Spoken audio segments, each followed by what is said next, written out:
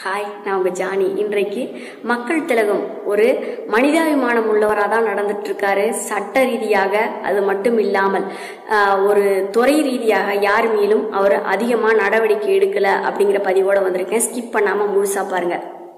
மதுரை மீனாட்சி அம்மன் கோயில். மதுரை மீனாட்சி அம்மன் கோயிலில் ஒரு பெண்மணி ஆன்மீக சொற்பொழிவு மற்றும் திருப்பாவை திருவெம்பாவை இது இரண்டையும் கற்றுக் கொடுப்பதற்காக ஒரு பெண்மணியை நியமித்திருந்தாங்க. பணி பணி பணி நியமித்திருந்தாங்க. அவங்களுக்கு அறநிலையத்துறை மூலயமா மாதம் மாதம் சம்பளம் வழங்கப்பட்டது. அவங்களுக்கு அங்கேயே வீடும் வழங்கப்பட்டிருந்தது. மதுரை மீனாட்சி அம்மன் கோயில் கோட்டஸ்லேயே வீடும் வழங்கப்பட்டிருந்தது. ஒரு காலகட்டத்துக்கு மேலே அந்த அம்மா இறந்து போக அவ- அவருடைய மகளுக்கு அந்த வேலை கொடுக்கப்பட்டது. அப்படி அந்த மகளுக்கு வேலை கொடுக்க போட்ட போது நிறைய புகார்கள் மக்கள் திலகத்துக்கு வந்துகிட்டே இருந்தது. என்ன மாதிரியான புகார்கள்னா அவங்க தொடர்ந்து லீவ் எடுத்துகிட்டே இருக்காங்க. திருப்பாவை திருவம்பாவை வந்து எந்த சொற்பொழிவும் ஆட்டுறதில்ல. அதே மாதிரி எங்களுக்கு சொல்லியும் கொடுக்கறதில்ல. ஆன்மீக பிரசங்கமும் அங்கே நடக்கிறதில்ல அப்படிங்கிற தகவல்கள் தொடர்ந்து வந்துகிட்டே இருந்தது. அதற்கு பிறகு இவர் மதுரைக்கு ஒரு முறை ஒரு மீட்டிங்காக போயிருக்காரு. போனவர் நைட் ஒம்பது மணிக்குள்ள மீட்டிங்லாம் முடிஞ்சிருச்சு. இப்போ பக்தர்கள் கூட்டம் குறைவாக இருக்கும்.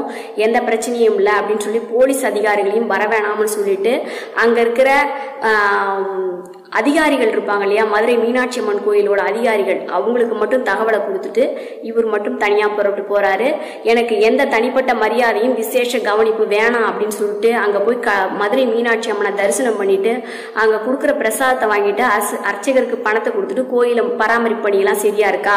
அப்படின்னு சொல்லி கோயிலை சுற்றி பார்த்துட்டு அதிகாரிகள்லாம் கேட்குறாரு அதே மாதிரி யானையும் போய் பார்க்குறாரு அதற்கு சாப்பாடுலாம் சரியாக கொடுத்துட்டு இருக்கீங்களா? அதை நல்லா கவனிக்கிறீங்களா? அப்படின்னு சொல்லி யானையை கேட்டுட்டு ஒரு இடத்துல போய் உட்காராரு உட்காந்துட்டு அந்த அம்மாவை போய் வர சொல்லுங்க அப்படி சொல்லி சொல்றாரு. அதிகாரிகள் மூலியமா வர சொல்றாங்க. அந்த அம்மாவுக்கு ஆல்ரெடி தெரிஞ்சிச்சு. நம்ம மேல புகார் கொடுத்து தான் எம்ஜிஆர் அவர்கள் வந்திருக்காரு அப்படிங்கறது அந்த அம்மா தெரிஞ்சிச்சு. வந்ததுமே அந்த அம்மா ஊழு உளு உள்ள அழுதுட்டே இருக்கு. அழுதுட்டே இருந்தோம் அந்த அம்மா இவர் கேள்வி கேட்க ஆரம்பிச்சு இன்னும் அழ ஆரம்பிச்சிச்சு அழ அழுது முடிக்கட்டும்னு இவர் அமைதியாக உட்காந்துட்டு ஏமா தப்பு உங்களோட தானே உங்கள் அம்மா உங்கள் ப- இந்த பணியை எவ்வளோ சிறப்பாக செஞ்சாங்க.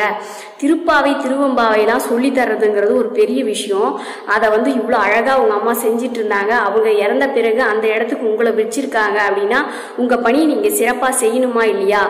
தப்பு உங்களோடது தானே இது உங்களுக்கு நான் சொல்றது உங்களுக்கு புரியுதா இல்லையாம்மா அப்படின்னு சொல்லி கேட்டிருக்காரு. ஐயா இனிமே நான் தவறு நடக்காம பாத்துக்கிறேன். என்னை இந்த ஒரு தடவை தயவு செஞ்சு மன்னிச்சிடுங்க அப்படின்னு சொல்லி சொன்னதுமே அந்த பெண்ணை மன்னிச்சிட்டாரு அப்படின்னு சொல்லி பதிவு பண்றாங்க. அது மட்டும் இல்லாமல் அவர் நினைச்சிருந்தா அறநிலை அறநிலைத்துறை அதிகாரிகள் மூலியமாவே சட்ட ரீதியா நடவடிக்கை எடுத்து அந்த பொம்பளை வேலையை விட்டு தூக்கிருக்கலாம் ஆனா அவர் அதை செய்யவே இல்லை. ஏன்னா அந்த பொண்ணோட குடும்ப சூழல் என்னவோ அந்த பொண்ணுக்கு எத்தனை புள்ள குட்டிகளோ புருஷனோ நாம இன்னும் அதை எ- எதை கண்டோம்? அதனால அந்த குடும்பம் அந்த பொண்ணோட குடும்பத்துக்கு எதுவும் ஆயிடக்கூடாதுன்னு யோசிச்சதால தான் மனிதாபிமான அடிப்படையில் அந்த பொண்ணுக்கு திரும்பவும் வேலை போட்டு கொடுத்து ஆனால் அந்த பெண் சிறப்பா திரும்ப வேலை செய்ய ஆரம்பிச்சிட்டாங்க அப்படின்னு படி பதிவு பண்றாங்க. அதே மாதிரி மதுரை மாநகராட்சி தேர்தல் நடைபெற்ற போது அங்க போய் பிரச்சாரத்துக்கு தேர்தல் பிரச்சாரத்துக்கு போன நம்முடைய மக்கள் திலகம் அவர்கள். அரசு விருந்தினர் மாளிகையிலிருந்து புறப்பட்டு திருமங்கலம் ரோடு வழியா வந்துகிட்டு இருந்திருக்காங்க. வந்துகிட்டு இருக்கிற சமயத்துல தூரத்துல ஒரு பையனை கட்டி போட்டு அடிச்சுக்கிட்டு இருக்காங்க நிறைய பேர் சேர்ந்து அடிச்சிட்டு இருந்திருக்காங்க. அப்ப அதை மக்கள் திலகம் அவர்கள் கவனிச்சுட்டு டிரைவர் கதிரேசனை காரை நிறுத்தி சொல்லிட்டார். காரை நிறுத்தி சொல்லிட்டு உதவியாளர்கள் விட்டாங்க என்ன பிரச்சனை? அந்த கட்டை அவுத்து அந்த பையனையும் கூட்டு வா எல்லாரையும் அங்க இருந்து இழுத்துட்டு வா அப்படின்ட்டு. மக்கள் திலகத்தை பார்த்து எல்லாரும் உடனே அந்த நடுத்தர அடிச்சுக்கிட்டு இருந்த நடுத்தர வயதுக்காரர் காலிலே விழுந்துடுறாரு. காலில் விழுந்துட்டு எதுக்கா அந்த பையனை போட்டு நீ அடிச்சிட்டு இருக்க? அதுக்கு முதல் பதில் சொல் அப்படின்னு சொல்லி கேட்கிறார். கேட்ட பிறகு அவர் பதில் சொல்றாரு இந்த மாதிரி என் பிள்ளைய வந்து இவன் போட்டோ எடுத்துக்கிட்டு இருந்தான் இவன் எங்க வீட்டுக்கு பக்கத்துல போட்டோ ஸ்டுடியோ வச்சிருக்கான் என் பிள்ளைய வந்து போட்டோ எடுத்துட்டு இருந்தான் அதனால தான் அவனை போட்டு அடிச்சோம் அப்படின்னு சொல்லிட்டு. அது கேட்ட பிறகு அந்த பையன்கிட்ட கேட்டுக்கிட்டு இருக்காரு எங்க அந்த பொண்ணு விருப்பத்தோட தான் நான் போட்டோ எடுத்தேன் அந்த பொண்ணு நானும் காதலிக்கிறோம் கல்யாணம் பண்ணிக்கணும்னு ஆசைப்படுறோம் ஏன்னா இவங்க வந்து அதை தப்பா புரிஞ்சுட்டு என்னை போட்டு அடிச்சிட்டு இருக்காங்க நான் சொல்லி கூட உங்க புரிஞ்சிக்கல அப்படின்னதும் உடனே ம மக்கள் வந்து கோவம் வந்துருச்சு. கோவம் வந்துட்டு என்ன சொல்றாரு ஏயா ஒரு தனியாளை தூக்கிட்டு வந்து இப்படி அடிச்சுக்கிட்டு இருக்கீங்களே? இந்த ஆள் போலீஸ் கம்ப்ளைண்ட் இந்த பையன் கொடுத்தானா நீங்கள் என்னையா பண்ணுவீங்க? ரெண்டு பேருமே மேஜரு ரெண்டு பேரும் கல்யாணம் பண்ணிக்கிற வயசு தான். ஃபோட்டோ ஸ்டுடியோ வச்சிருக்காருங்கிற ஒழுங்காக வச்சு பொழைச்சிக்க மாட்டாரா? ஏன் அந்த ஆளை போட்டு அடிச்சிட்டு இருக்கீங்க?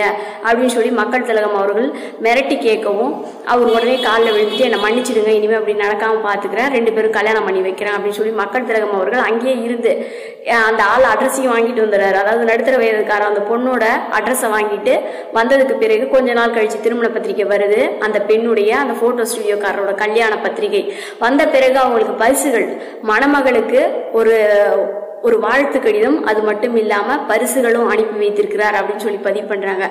அவருடைய அருமையான திரைப்படத்துல ஒரு தலைப்பு இருக்கு தெரியுங்களா? குடும்ப தலைவன். அது இவருக்கு பொருத்தமா இருக்கும் அப்படின்னு அதனால தான் இந்த பதிவு சொல் சொன்னேன். அது மட்டும் இல்லாமல் விதவை மறுமணத்திற்கு அதிகமான திட்டங்களை கொண்டு வந்தவர் இவர்தான். ஐயாயிரத்தி முன்னூத்தி ஐம்பது வ- வரைக்கும் ஐயாயிரத்தி முன்னூத்தி ஐம்பது ரூபாய் வரைக்கும் ஊக்கத்தொகை கொடுக்கறதுக்காக நிறைய தி- திட்டங்களை வகுத்தவர் நம்முடைய மக்கள் திலகம் அவர்கள். இப்படிப்பட்ட மிகச்சிறந்த மனிதரான மிகச்சிறந்த வள்ளலான மக்கள் திலகம் அவர்களை பற்றி நான் சொன்ன பதிவு பிடிச்சிருந்தா குட்டிஸ் தமிழ் ஷோ சேனலுக்கு சப்ஸ்கிரைப் பண்ணுங்க லைக் பண்ணுங்க ஷேர் பண்ணுங்க. வேற ஏதாவது தேவைப்பட்டாலும் கமெண்ட்ல லீவ் பண்ணுங்க.